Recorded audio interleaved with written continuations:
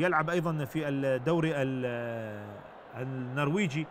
وشوف هنا المحاولة والدوري الهولندي. هذا هو باتينما.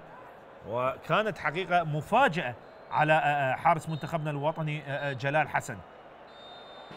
شوف الكرة كانت في متناول اليد بالنسبة لجلال حسن. اذا باتينما النرويجي. و اذا هدفين مقابل هدف واحد والمنتخب الأندونيسي